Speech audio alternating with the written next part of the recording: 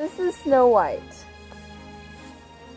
Once upon a time, in a distant kingdom long, long ago, there lived an evil queen who owned an enchanted mirror, and every day she would ask it the same question. Mirror, mirror on the wall, who's the smartest of them all? And every day the mirror would say, You, my queen, are the smartest of them all. That is, until one day there was a different response. Mirror, mirror on the wall, who's the smartest of them all? You are very smart, tis true, but Snow White is better at math than you. The queen was green with envy at hearing of a more skilled mathematician in the land, and immediately ordered, Lock this Snow White in a dungeon with a thousand apples and only one sweet apple that can save her. All of the apples to the left of the magical one were normal sweet apples. All of the apples to the right of the magical one were bitter poisonous apples. Snow White could eat no more than two of the poisonous apples before falling into an endless sleep that she could only be saved from by a prince. Though, unluckily for her, the land was on a shortage of Prince Charmings. If she can tell me the least amount of apples she'd have to try to guarantee she found the magical one, maybe I'll set her free. What am I going to do? The mirror wasn't wrong though when it said that Snow White was the better mathematician, and she immediately began to work. What if I start by imagining that I could only eat one apple, not two? What a good idea! If that were the case, I would have no choice but to start from the left and taste every single apple until I reached a poisonous one.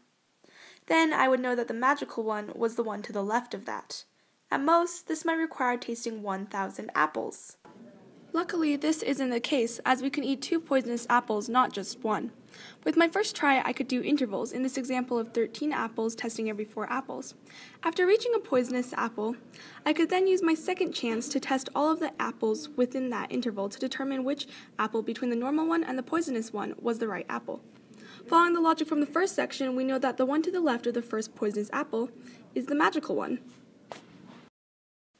So in this example of 13 apples using intervals of 4 with 3 apples in between each one we try at first, at most we'd have to eat 6 apples. But can we do even better? Who said the intervals had to be the same size? If I wanted to reduce the amount of apples I needed to eat to find the magical one, it'd be best to reduce the interval size as we move right. We can look at this with a smaller example of 10. With 10, we'd only need to try 4 apples. More specifically, each interval should be one less than the interval before it. This ensures that the most amount of tries it takes to find the apple in any interval is the same, because every time I go to another interval, I'm eating another apple, so I need to reduce the amount of apples I eat in that interval by 1.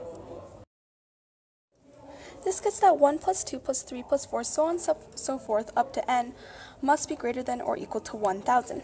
The sum of the numbers up to n can be found by doing n times n plus 1 over 2. This is because there are n numbers and n plus 1 over 2 is the average of all those numbers. Since we want to get as close to 1000 as possible, we can write it as n times n plus 1 over 2 equals 1000 to make it easier. Multiplying both sides by 2 gets us n times n plus 1 equals 2000, and distributing gets n squared plus n equals 2000. This means that n squared should be about 2000. 45 squared is the first perfect square over 2000 at 2025. If we test 44, which is one less, we get 1980. Because 1980 is less than 2000, this doesn't work. So we can test 45. This gets 2070. 2070 is greater than 2000, so it works. That means that the answer is 45. Found the magic apple. Now at most, I only have to try 45 apples. No! I admit you are truly the better mathematician. And they lived happily ever after, with the queen being a little less prideful of her knowledge and Snow White being a little less fond of apples.